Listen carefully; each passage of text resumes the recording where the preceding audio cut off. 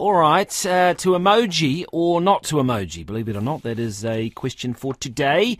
A new poll from Frog Recruitment has found most workers are embracing the quirky icons with the thumbs up and the tick, proving the most popular for congratulating colleagues on their work.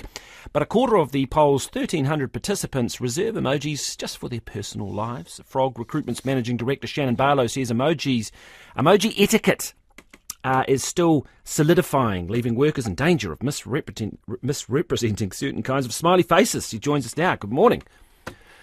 Good morning. There's so much to contend with being a worker these days, isn't there? Boy, um, you don't want to get your emojis wrong. Okay, tell us, Uh, give us, give, no. us, give us some numbers here. I mean, how how much is it being used in the workplace according to this poll? Yeah, well, we found that using emojis is really commonplace in the workplace now. So, um, just over 75% regularly use them in day to day work. Um, so, the, it's definitely the minority that uh, just leaves those for, for um, for their personal life. So, um, yeah, a, a big part of the your um, work operations these days. I'm going to be honest here. I mean, a lot of it's just sheer laziness. I mean, the ability to be able to give give, give a message wherever it may be coming at you, whatever platform, a thumbs up and move on is, is excellent. Well, that that it's uh, interesting you've uh, mentioned that one because that that seems to be one of the ones that can get us into a bit of trouble. Um, and Oh, really? it does seem to be a yeah, so there seems to be a bit of a, a generational gap in uh, how emojis are interpreted. So you and I might give a thumbs up to acknowledge a message, or as you say, save some time and don't have to write the words. Just say it's okay.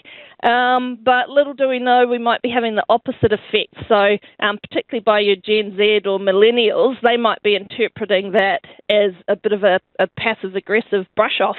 Really? I didn't know that. Ah, okay. Um, so what should you do then? A star or something? Or you actually should write something? Well, I think um, you know these these aren't really the big issues, but I, I think you do need to take it into account a little bit, and um, depending on the message, you might want to take that extra time and actually put some words in there. But um, I don't Well, here's the I- thing. I I, don't was think thinking that- about this more. It's more about, you know, you're sort of in a text exchange with someone and you're thinking you've got maybe two texts in you. It's the, the thumbs up sort of at the end of the conversation when, when either person is sort of going, you know, we've kind of finished with this. That's when it's quite good. Yep, You'd no, agree? definitely. It's, Is that all right? I'm I, allowed to do I that? agree, but I'm at the other end of the spectrum, aren't I? So of course I'm going to thumbs up and move on. So, what are the ones that uh, cause the most problems here? Are there sort of, I mean, there are plenty, a lot of emojis, aren't there? Are there sort of ones that are, you know, no go zones at work? Yeah, it, it, absolutely. So um, I guess you can consider the emojis as um, you know a kind of digital language in their own right. But I guess like learning any language, you've really got to be careful that your message doesn't get lost in translation. So um, some obvious ones, apart from knowing the double meanings of some seemingly innocent fruit and vegetables that can get you into a lot of trouble. Um, you know, you, you need to make sure that it's it's appropriate um, and you're sure how it's going to be interpreted so that you know your message come acro- comes across as you intended and not the opposite. Do you see? I mean, how have they evolved? As you say, it's still solidifying in the workplace, but the emojis. I mean, are tech companies developing more and more of these things, or are we, sort of reached peak emoji?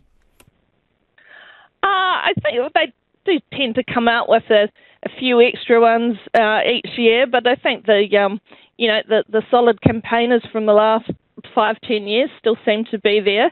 Um, I think sometimes uh, again that those double meanings or or what they actually mean or can mean in different contexts that can change. So you've got to keep up with the times there to um, make sure that your innocent message uh, does, doesn't turn into something else. Yeah, well, someone's texted in an emoji. It's it's a rude finger. Uh, so you know, this. I don't know what they could possibly mean by that. Um, Oh, anyway, that, well, that one might be easy to interpret.